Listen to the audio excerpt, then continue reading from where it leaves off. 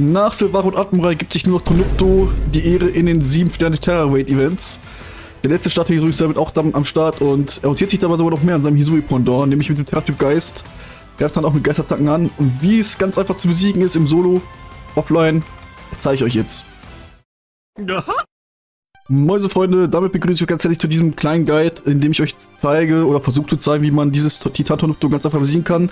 Ich bin jetzt erstmal hier auf der Cerebi-Seite, wo man direkt sein Moveset sieht. Und ich bin ganz ehrlich mit euch, ich habe mich vorbereitet auf diesen Kampf.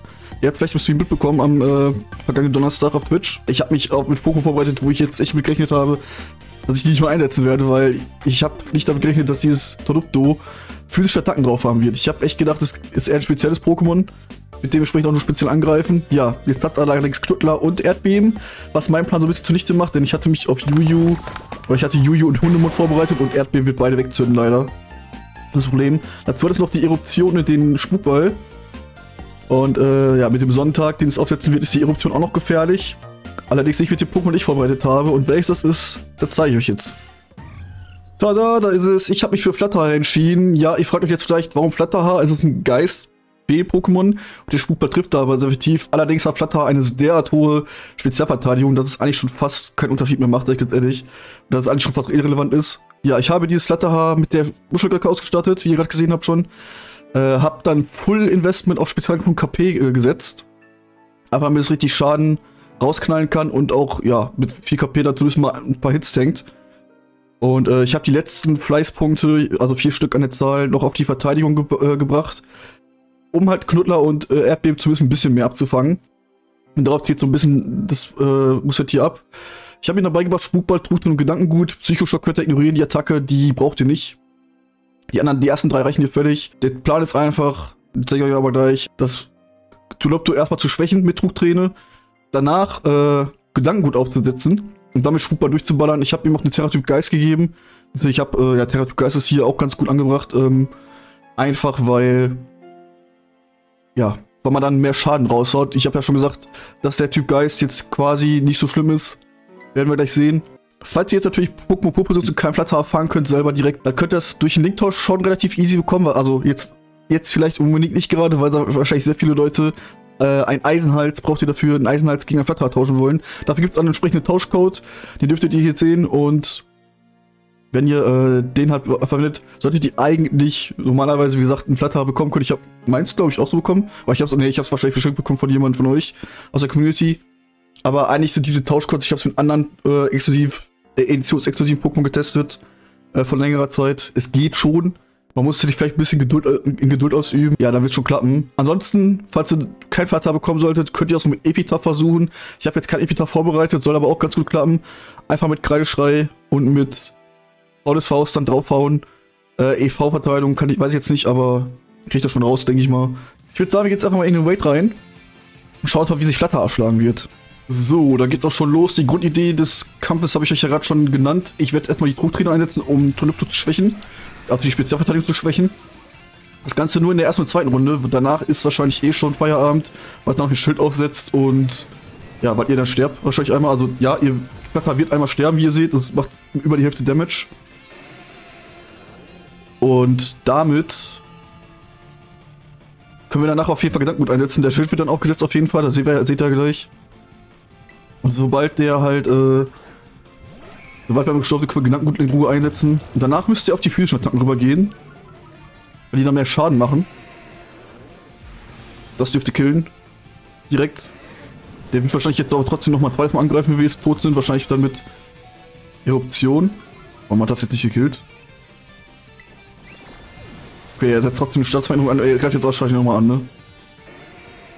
Ja, da kommt die Eruption. Die müsste jetzt aber killen. Ja, genau.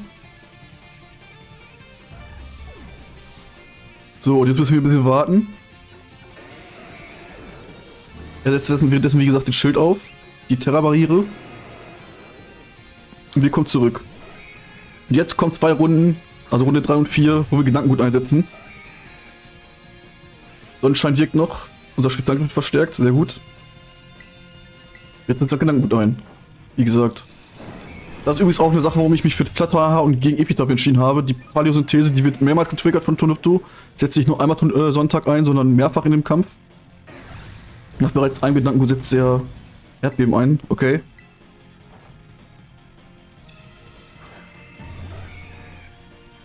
Das wir greifen weiter an. Oder boosten uns nochmal. Vielleicht kommt jetzt auch ein Erdbeben oder ein Knüttler. Genau, das ist der Knüttler. Jetzt setzen wir Spukball ein und wir bleiben auch bei Spukball im Grunde. Jetzt bleiben das jetzt so lange durch, bis er quasi K.O. ist. Beziehungsweise wenn wir nochmal sterben sollten, kann es nochmal sein, dass wir nochmal entweder Trugträne, je nachdem, ob er sich schon zurückgesetzt hat, oder nochmal Gedankengut einsetzen werden. Aber eigentlich setzen wir jetzt nur Spukball ein. Wenn wir Terra kristallisieren können, werden wir Terra kristallisieren. Gegen Knoller daneben, das ist sehr gut. Das ist jetzt quasi Best Case quasi. Weil wenn der jetzt jedes Mal Knoller oder Erdbeben trifft, kann es sein, dass wir nochmal sterben. In jedem Fall ganz gut, dass er Knoten eingesetzt hat und verfehlt hat. So, mein Freund. Da kommt das Erdbeben. So, wir müssen uns eine Runde, eine Runde aushalten und dann können wir Terra kristallisieren und dann sollten wir so viel Damage machen, dass wir uns quasi wieder voll heilen. Ja, jetzt wird es jetzt nochmal spannend. Man sollten überleben. Er macht ja irgendwie so gut 100 KP, ja 115. Da kommt nochmal Sonntag, das heißt, ihr boostet uns nochmal. Vielen Dank dafür, mein Freund. Oh. Das dürfte nicht killen. Genau. So, jetzt bitte fast die Track-Session vergessen. Dann wäre ich gestorben. Jetzt wahrscheinlich die Runde. Jetzt schaue ich mal den Schaden an. Wahrscheinlich wird er sich danach, wenn der Stück gebrochen ist, äh, seine, seinen Spätstep-Drop wieder vielleicht zurücksetzen dann. Aber dann haben wir unseren Boost, das ist ganz gut. Denn den brauchen wir noch. Das Gute ist halt, sobald wir halt Gedankengut angezogen haben und er nicht mehr Spur einsetzt, kann der auch unsere Spezialverteidigung nicht mehr droppen.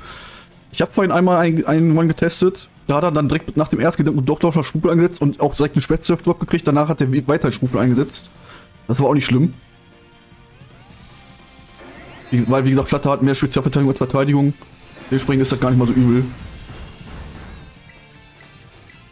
So, und da, auch wenn er jetzt die Verteidigung, das Spezialverteidigung wieder zurückgesetzt hat, können wir trotzdem angreifen und sollten eigentlich jetzt relativ zügig durchkommen. Wir haben noch zweimal. Wir haben wahrscheinlich genug, um, um einfach zu überleben. Ganz genau. Selbst wenn er halt nochmal zweimal angreifen sollte, was passieren kann, aber eigentlich sollte.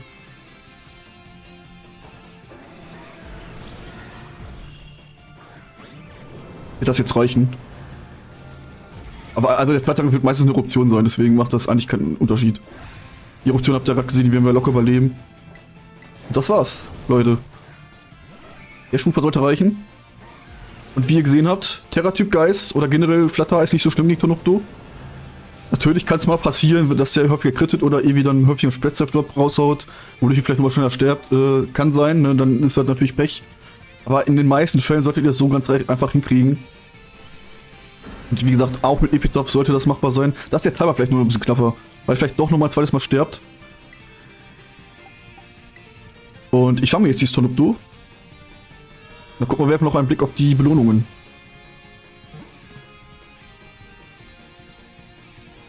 So, das ist ein Bar. Hier sind die Belohnungen. Ihr kriegt einmalig, das haben wir gerade schon auf der Seite gesehen, als ich das Moveset schon gezeigt habe, einmalig kriegt ihr die TM114 ein Fähigkeitenpflaster.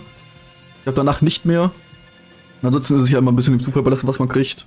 Eine Kleinigkeit kann ich euch noch zeigen, denn mich hat tatsächlich gewundert, dass die Stonupdo irgendwie relativ klein wäre. Ich habe gedacht, es wäre größer. Und äh, ja, wenn ihr nach Missalona City fliegt, zum westlichen Pokémon Center und dann hier zu einem, ja, ich, man kann ich mal sagen, Brunnen, zu der Frau hier geht, mit dem beiden Pachiriso daneben, die, äh, die, Größe, die an die Größen von Pokémon interessiert ist und ihr das Tornupto zeigt, dann solltet ihr noch ein Abzeichen dafür kriegen, was jetzt nicht unbedingt wichtig ist, aber nur, nur als kleines Secret, die ist eigentlich ganz interessant. Nee, nee, ist nämlich ein Winzling. Damit kriegt er nochmal ein, ähm, ein Titel, ein Abzeichen nämlich das Winzlingsabzeichen, was man dem dann auch geben kann, genauso wie das Titanzeichen. Einfach hier rüber gehen in den dritten Reiter. Dann hat man hier das Titanzeichen, das kann man geben und auch das Winzlingszeichen, Winzling Tonupto. Vom Titan zum Winzling, auch gut. ja, das wollte ich auch nochmal zeigen, so als kleines, ja, als kleines Extra obendrauf. Ja, meine Freunde, das war's mit dem Tonupto Raid. Jetzt habt ihr gesehen, wie ihr das ganz einfach offline alleine schaffen könnt. Und wie gesagt, ich glaube auch, dass dieses Flatterhaar Genauso wie Epitaph auch im Multiplayer ganz gut ist. Vielleicht braucht man da noch ein Support-Pokémon, was da vielleicht mal halt wie ein äh, Chanera oder Hytera. Oder vielleicht auch einfach mal ein Lichtschild oder einen Reflektor aufsetzt. Deswegen, das wäre vielleicht dann auch ganz praktisch, wenn man vielleicht nicht so häufig stirbt. Aber ansonsten glaube ich, dass es tatsächlich so ganz leicht machbar ist. Also ich habe tatsächlich kurz gedacht, als ich das Epic gesehen habe, ja, das wird ganz schwierig jetzt. Aber im Flutter lief es dann doch ganz gut, deswegen. Falls ihr jetzt äh, Hilfe braucht oder falls ihr da Hilfe braucht, dann wisst ihr jetzt, wie es geht. Ich bedanke mich auf jeden Fall fürs Zusehen und wenn, äh, wenn euch dieser Guide gefallen hat, diese, diese Hilfestellung, dann lasst da gerne noch ein Like, da würde mich sehr freuen. Ja, hier fand ich noch ein bisschen Pokémon-Content zum Reinschauen. Und ich würde mich natürlich freuen, wenn ich euch wieder hier sehe. Oder wenn ihr wieder einschaltet. Euch noch einen schönen Tag, bis zum nächsten Mal. Tschüss mit Ö. Euer Basekasu.